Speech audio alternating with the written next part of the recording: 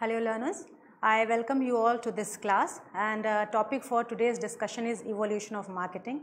This is basically uh, a part of our uh, AMK course, AMK 01 course under BCom general program and under BCom CBCS it is a part of the course code BCOE 142 and the name of the uh, subject is marketing.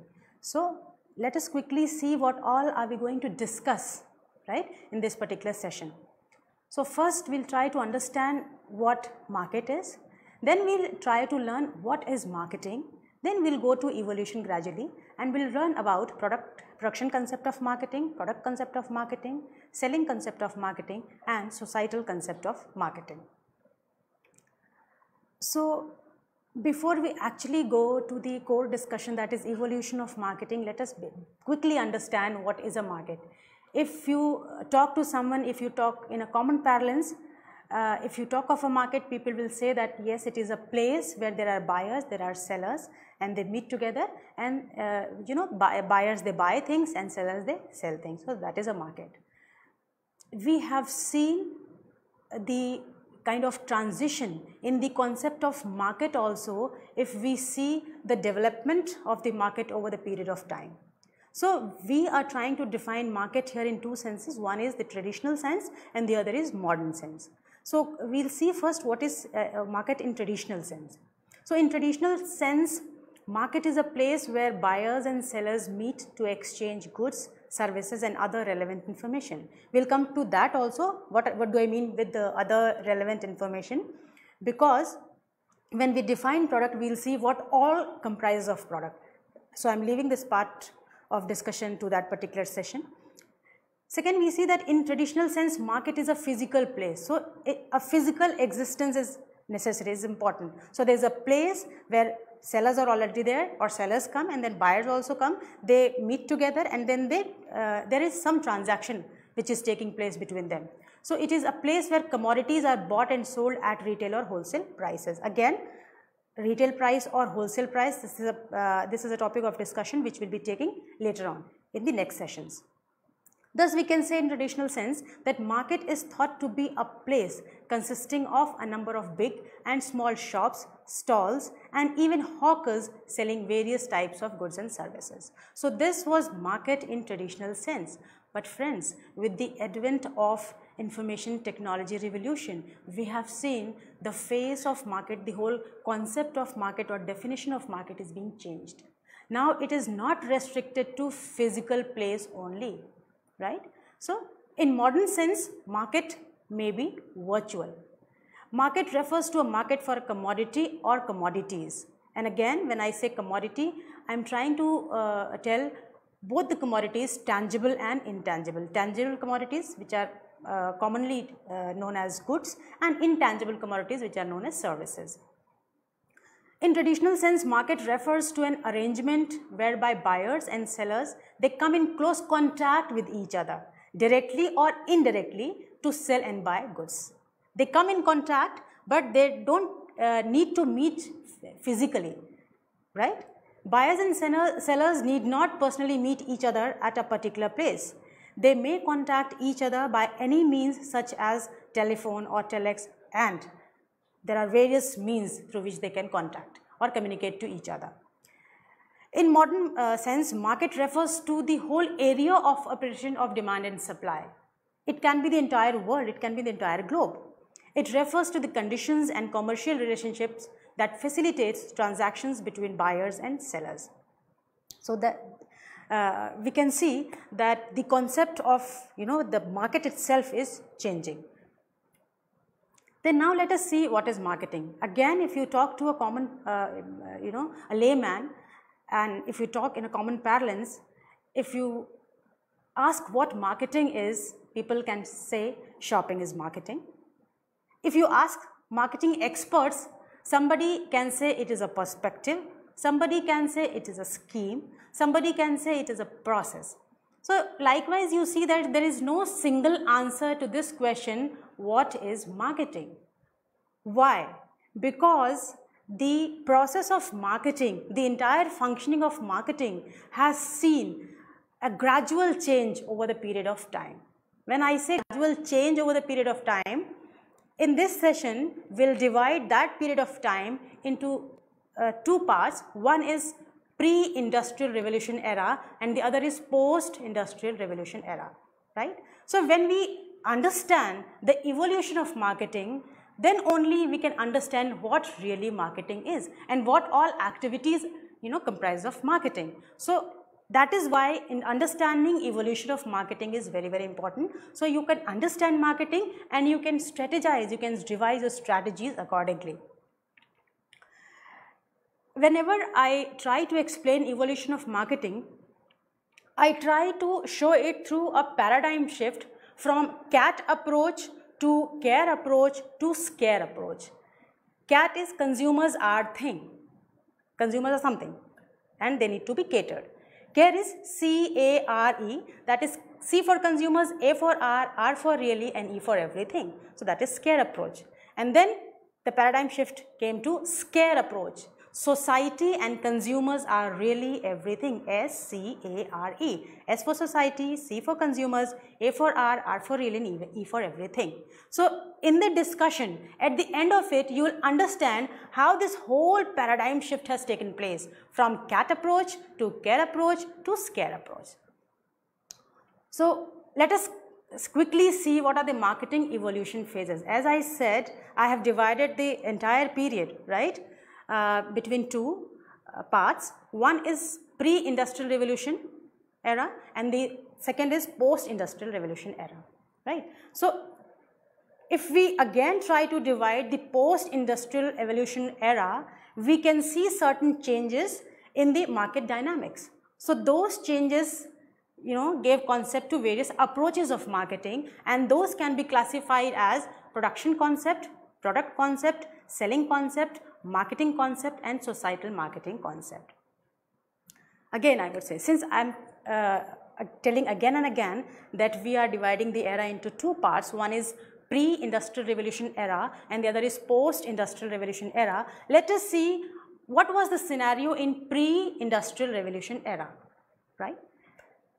Since the time immemorial trade is taking place commerce is there right when there was no medium of exchange such as money, then barter system was there in the market. So for the transaction, barter system was used. Was used. So barter system means use of one commodity for exchange of other commodity, right? So barter system was there. Uh, that had the two people, two set of people or two parties, they'll meet together. They would have something to offer to each other and that something would have some value also right? And then they will offer to each. For, for instance suppose i am a farmer right? And i'm uh, and i'm growing wheat. And somebody is an artisan he or she is making baskets. So i want basket. I have surplus of wheat and the artisan has surplus of baskets. So if we i need basket and this artisan needs wheat the, uh, according to the barter system i'll give some wheat and take basket from the artisan. So that was barter system. But with the advent of money, again, the face of market changed, right? The style of marketing changed, right? And then came, after a certain period of time, you know, there were uh, different yeah, changing dynamics in the market, people were experiencing, you know, different kind of changes in the market. And then industrial revolution began and believe me, this industrial revolution changed the face of the whole world and how we'll see. So the first concept that we are going to discuss is the production concept. Again, of the post-industrial revolution era, the four concepts are there, production, product, society, marketing and societal concept. So the very first concept that we are uh, going to talk is industrial concept. Industrial revolution began and industrial revolution began led to huge production of goods and goods or commodities right? And when there was huge production of commodities the supplies were also higher. And not only that with huge production you can see more employment generation also. And more employment generation means increase in purchasing power because people are getting jobs. And when people are getting jobs they, their purchasing power is increased right? So more purchasing power and more purchasing power lead to higher demand. Higher demand again production will be higher. So this way the cycle you know is completing. So something, one thing is leading to the other. Huge production is leading to, you know, huge production again, right? So this was the production concept.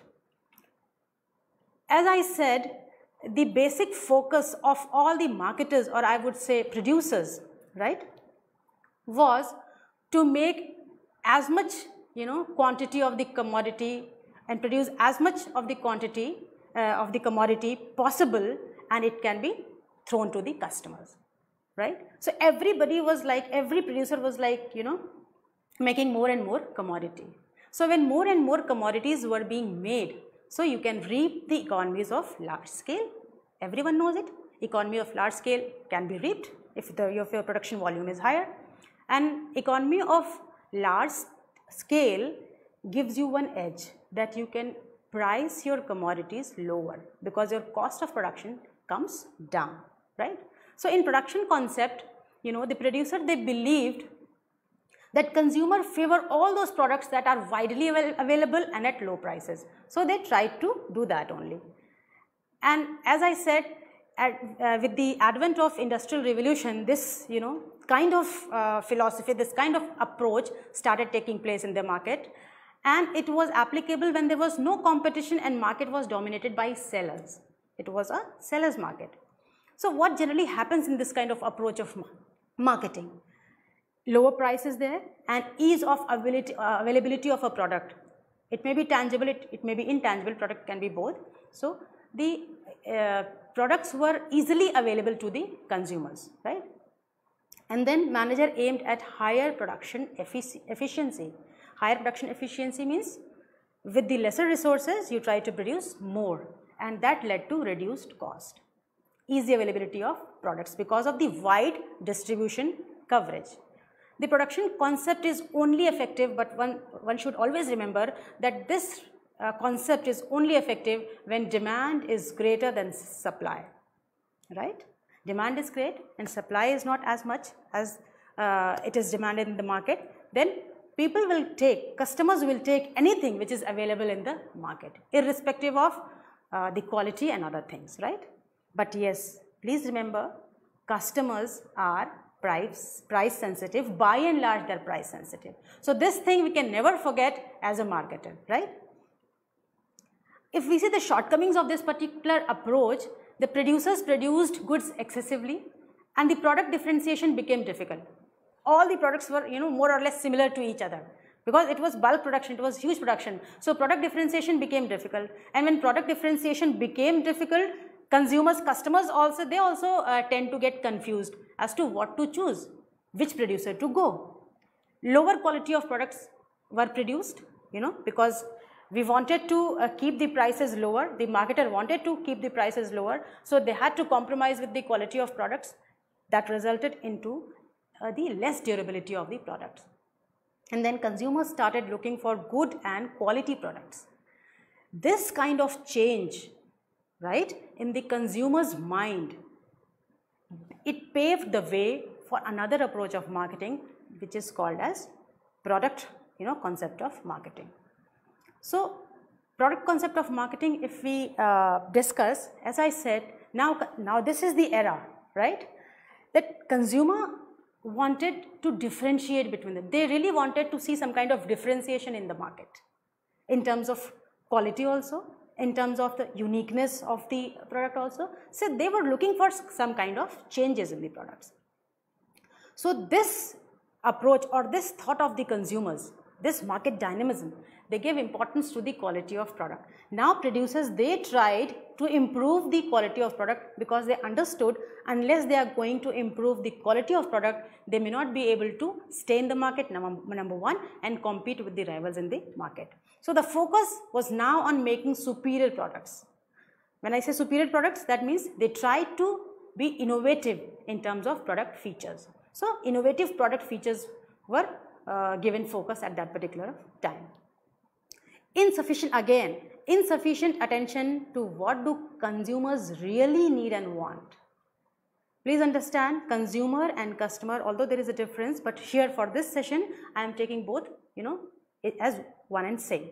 So they they assume that consumer wanted wants you know high quality of product improved quality of product uniqueness in the product but they fail to understand they fail to realize that what actually customers want do they want high quality of product?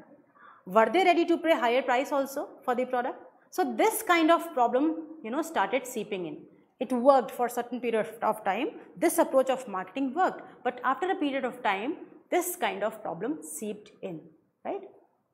And this paved way to again the other concept of marketing right? So the shortcomings of this approach is no emphasis of marketing communication. The uh, all the focus was with the you know creating innovative product features adding quality to the products. But how should you communicate? How do you communicate it to the, to the customers? That is also important. How do the customers know that your product is different from the others? They did not give much attention to this. And this affected the reach of goods to the customers. Customers they were not aware. And emphasis on quality of goods resulted in higher prices and now the need was felt to aggressively communicate about the innovative product features. Then started then my producers started realizing that we need to communicate to the customers that yes we are there with this particular kind of product which is different from others and it has certain added features certain added quality which you would like to have. And, and even if the prices are, are higher there is a genuine reason and you would you as a customer would love to pay higher prices for this particular you know commodity they needed to communicate it to the customers aggressively and they could sense this and this paved way for the uh, other concept of uh, marketing approach that was the selling concept. Here the assumption was made that people don't buy products unless it is aggressively promoted, unless it is you know aggressively and efficiently communicated to the customers, customers won't come and buy your product. So the main focus of the manager was to inform, request or contact consumers to make them buy the product, right? And high product promotion, you know, they started taking place.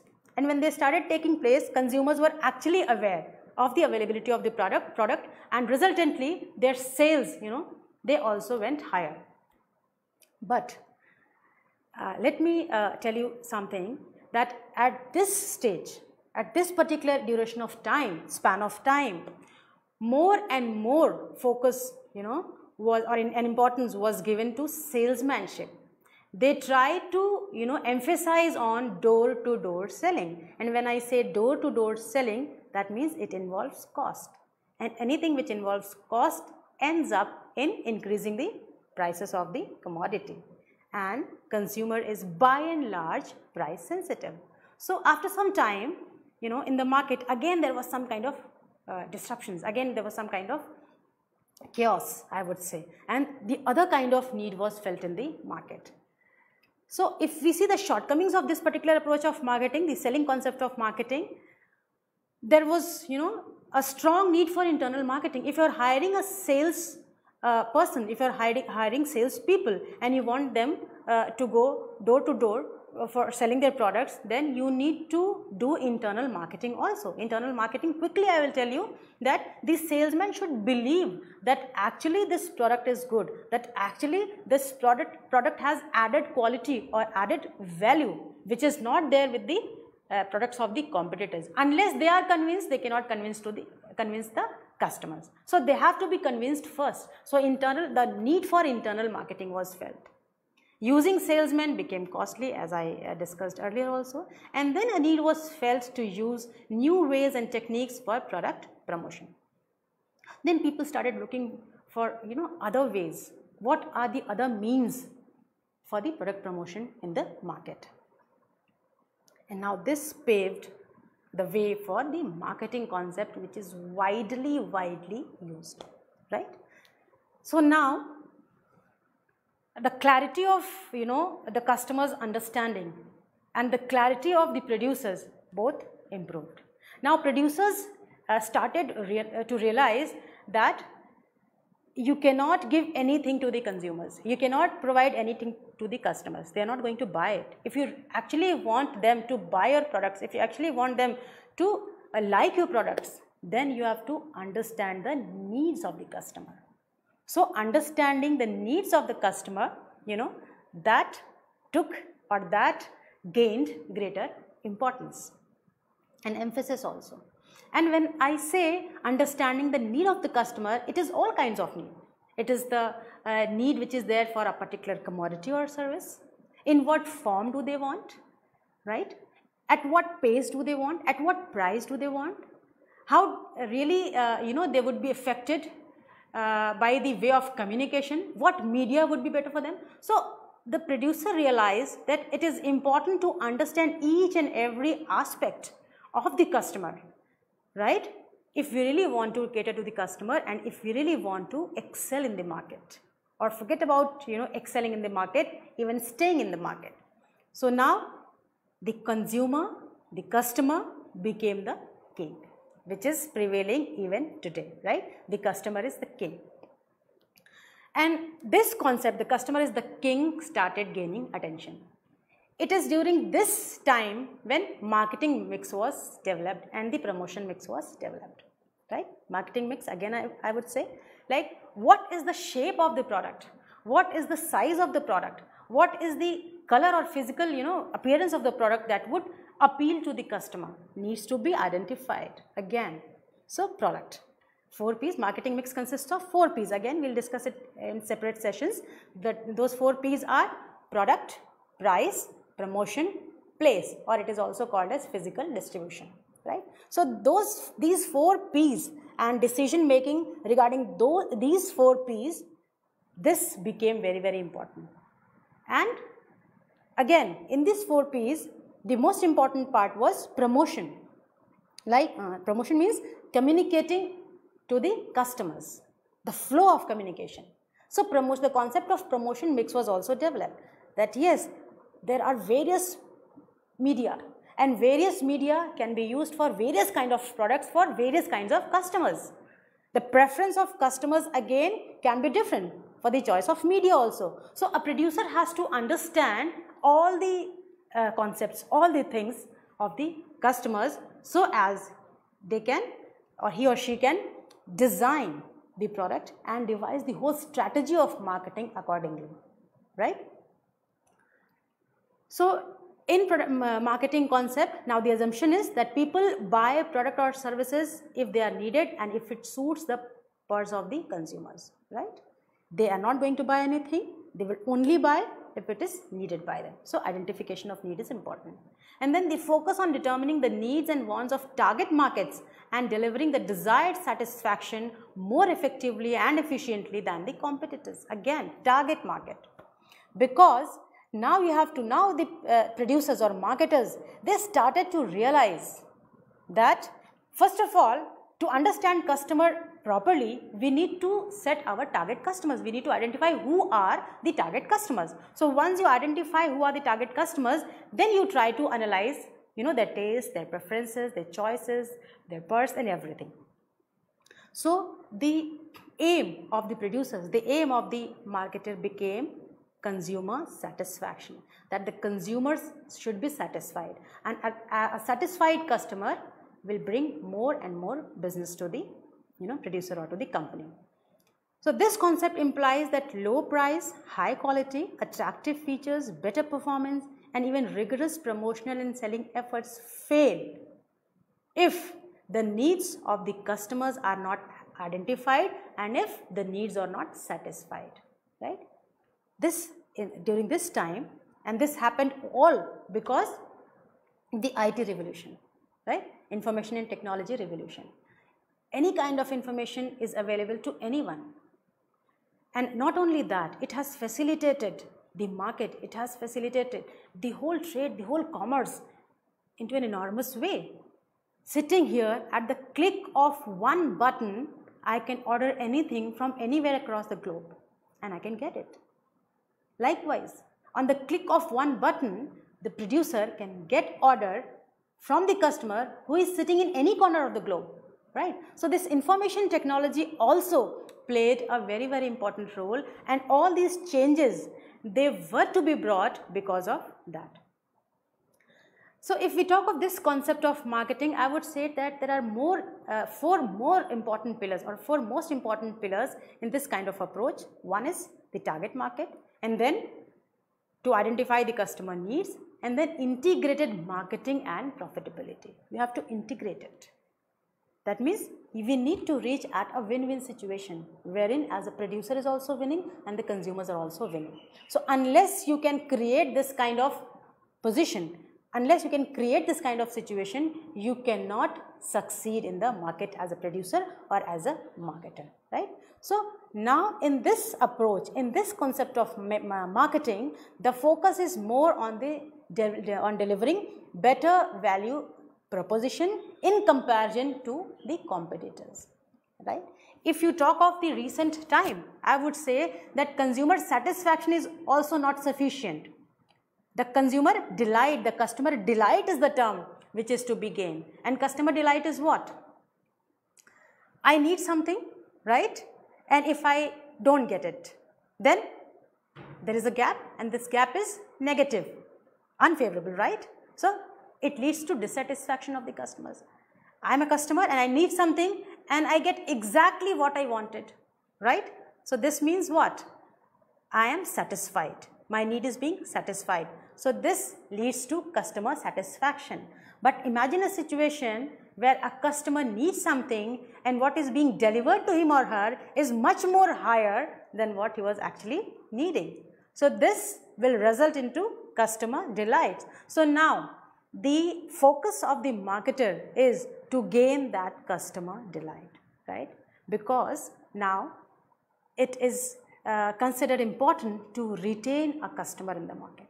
And to retain the customer in the market, it is important to uh, have, you know, delighted customers with you, right? So again, if we saw the elements of, uh, you know, this approach of marketing or marketing concepts of marketing, I would say that marketing oriented business starts with the customers, finds out what they want and then produces it for them. And not only produces, see, they, they identify the target market, right? And then trying to identify the needs of the customer. First you identify the customers, then you are trying to identify the needs of the customer, then you are producing the, uh, producing the products accordingly, pricing it accordingly, right? And then you are making it available to the customers easily and then you are also taking feedback because this will tell you whether you need to improve something or it is going okay with you. So this is one thing. And as I said, there are four important pillars in this concept of marketing. The one is target market, customer needs, integrated marketing and profitability. So target market is companies do best when they segment the total market and prepare tailored marketing programs as a company, as a business organization, you have your own strengths and weaknesses. So according to your own strength and weaknesses, you have to decide whether you want to cater to the whole market, to the entire market as a whole, or you want to cater to a particular segment to the market, segment of the market, or what you actually need to do. So first of all, we need to identify the target market. What shall be the target market for my kind of product and my kind of company. And then identifying customer needs. Third, integrated marketing that is management must integrate all its activities in order to develop programs to satisfy the customer wants. And again, not only satisfy but to delight the customer, right? And then profitability because there is no free lunch in the world right? We are talking commerce. So, profitability is to be there. So, the management must be guided by long range profit goals rather than you know being interested in quick sales. So, that is also very very important. And then you know gradually with the changes in uh, the scenario of the uh, mother earth, we see the scenario of the society as a whole. Now there is a need which is felt you know to the more holistic kind of marketing, which is not only concentrating on the customer's delight, which is not only concentrating, you know, on identifying the needs and want of the customers, but also understand and realize what society really needs and how the society can be better. What contribution you as a producer, you as a marketer can make to improve the society, right? So this paved way for societal marketing concept. So nowadays, every marketer, every producer is, you know, uh, working more or again by and large, the producers or marketers are working with this kind of concept that is social marketing concept, right? Wherein along with the customers, the society's welfare is also given importance, right? So this is societal marketing concept. The aim now is being shifted from complete customer satisfaction to customer welfare as uh, uh, welfare as well as social welfare. And then marketers felt that they too can play a role in contributing for social welfare. So let us contribute. And the management focus is to now integrate the firm's resources and activities to develop program to meet these individual consumers or customers and social needs. So again, please let me uh, clear one thing that it is not that the production concept of marketing is vanished completely or product concept of marketing is vanished, com uh, vanished completely or selling concept of market is you know marketing is vanished completely. In different different circumstances, in different different situations, different approach of marketing is being used. But again I would say that by and large the societal marketing concept is in practice which is also termed as holistic marketing right. So these were the you know four phases of uh, evolution of marketing I would say. If, if we try to quickly you know uh, summarize the whole evolution I would say that in production concept the aim was to reduce cost and profits will follow that was the motto. In the second concept that is product concept a good product will sell itself so focus on the quality. The third selling concept or sales concept aggressive sales you know tactics tactics or aggressively pushing the products can be can work and then came marketing concept when the customer is the king notion got the attention and then societal uh, marketing concept wherein the customers and so society's well-being is utmost important. So now you can see the paradigm shift from cat to care to scare. CAT customers are thing to care C-A-R-E. C for customers, A for R, R for really and E for everything. Customers are really everything. Customer became the pivotal central point. To scare not only customers, society, if society is there, customers will be there. So, society and customers, S-C-A-R-E again, society and customers are really everything. So, this is the whole paradigm shift which we have seen in the evolution of marketing. Before ending this session, I would uh, like to give you some food for thought so that in the next session when we are coming, you are you can come prepared and you will be able to you know uh, debate or maybe uh, send your queries on these particular topics that is relationship marketing, borderless marketing and online marketing. It is not necessary that I am going to talk on these two topics in the coming session, but till the time we meet again, please try to look for you know the relationship marketing and the borderless marketing and how it is taking place in nowadays context. So, see you next session. Happy learning.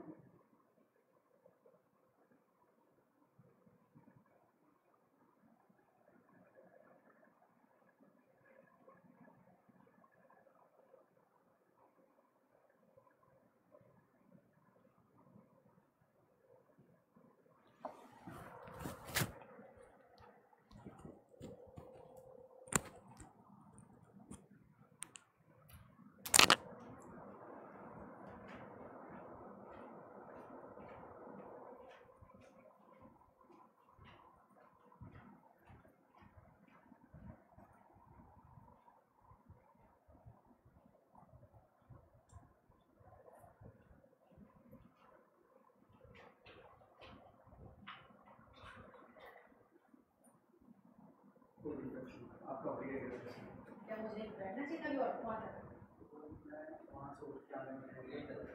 अरे thank you sir आप बोल रहे हो तो।